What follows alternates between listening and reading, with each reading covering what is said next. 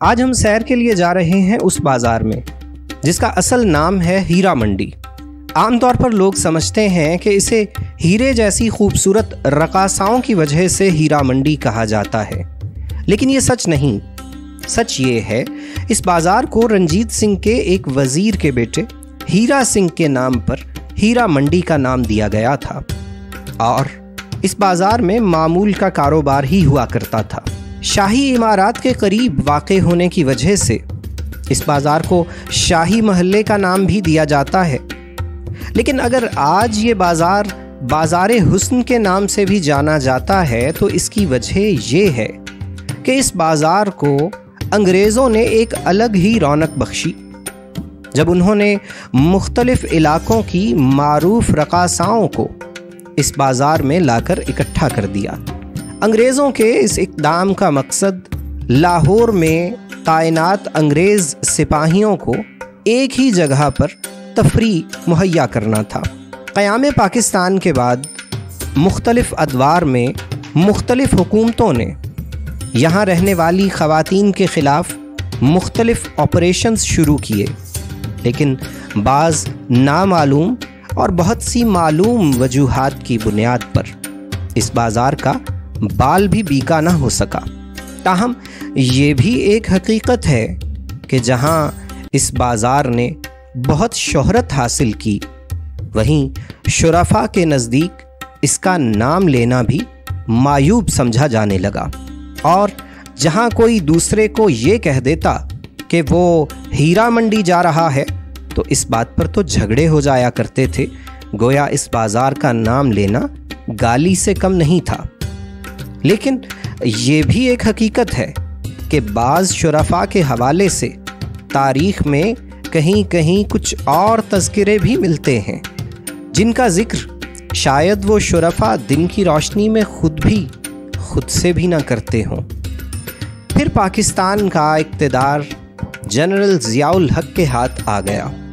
उन्होंने नाच गाने की महफ़िलों और तवाइफ़ों के पेशे पर पाबंदी लगा दी। तो कुछ अरसे तक ये बाज़ार बेरौनक रहा। ताहम, ज़ियाउल हक के बाद इस बाज़ार की रौनकें किसी हद तक दोबारा बहाल हो गईं। लेकिन इस इलाके की बदनामी और यहाँ जदीद रिहायशी सहूलियात की अदम दस्तियाबी के बायस बहुत सी रकासाओं ने पोश इलाकों को अपना मस्कन बना लिया और इस बाज़ार को हमेशा के लिए खैर बात कह दिया। लिहाजा आज ये बाज़ार अपनी पुरानी पहचान के बजाय हर किस्म की तजारती सरगर्मियों का मरकज़ बन चुका है। और ज़ाहिर है कि यहाँ कारोबार करने वाले और ख़रीदारी करने वाले दोनों ही शराफा हैं।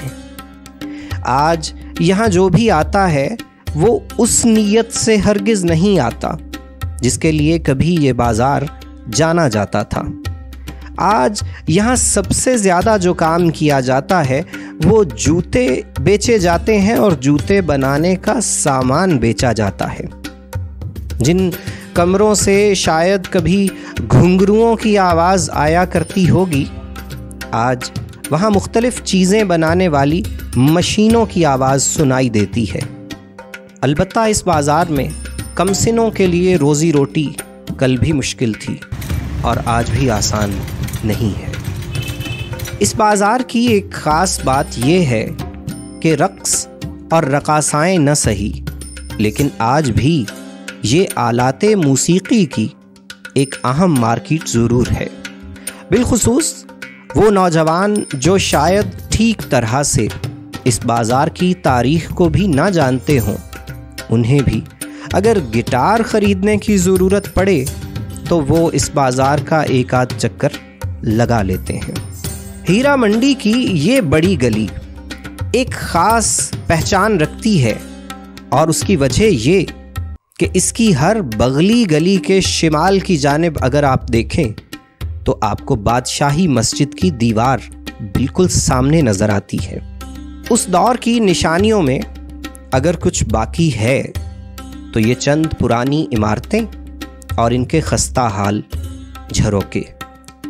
या ये चंद बुढ़े, जिन्होंने अपनी जवानियाँ किसी ना किसी हसीना की खातिर यहाँ गुजार दी और आज इन्हीं थड़ों पर मरने की आस लिए बैठे हैं। दीगर तमाम चीज़ों के साथ साथ ये इलाका हमेशा से खाने पीने की चीज़ों के लिए भी शोहरत रखता है। जैसा कि ये मशहूर ज़माना फज्जा सिरी पाए, जिसे लाहौड़ी अपने लहजे में फज्जे दे पावे कहते हैं। हती के बैरून मुल्क से आने वाले सयाह भी एक बार फज्जे के पास हाज़री देना लाजिम ख्याल करते हैं। अगरचे जिन लोगों ने भले वक्तों में फज्जे के पाए खाए थे, आज वो कहते हैं कि ओ गल्ला नहीं रहियाँ, ओ बाता नहीं रहियाँ। दूसरे अल्फाज में ये कि भज्जे की दुकान चूँकि बहुत ऊँची हो चुकी है, इसलिए पकवान फीका हो गया है। इस इलाके की आज एक और वजह शोहरत इसकी फ़ूड स्ट्रीट बन चुकी है। शुरफा अपने पूरे ख़ानदान के समेत इस इलाके में बड़ी खुशी से आने लगे हैं, क्योंकि आज उनका मकसद यहाँ रंगारंग लजीज पकवानों से लुत्फानंदोज़ होना होता है। ये है इस फ़ूड स्ट्रीट का मरकज़ी दरवाज़ा। और ये है दरवाजे पे बना हुआ शेर। लाहौर में रहते हुए आप शेर को नज़रअंदाज नहीं कर सकते। बिलखसूस अंदरून लाहौर में तो बिल्कुल नहीं। और ये हैं फ़ूड स्ट्रीट के वो मशहूर रेस्टोरेंट, जिनकी छत से बादशाही मस्जिद का सहन नज़र आता है। इसी फ़ूड स्ट्रीट के दरवाजे पर लाहौर की सयाहत के लिए चलने वाली डबल डेकर बस का टर्मिनल भी है। आज, इस बाज़ार में लाहौर के किसी भी दूसरे बाज़ार की तरह कारोबार किया जा रहा है।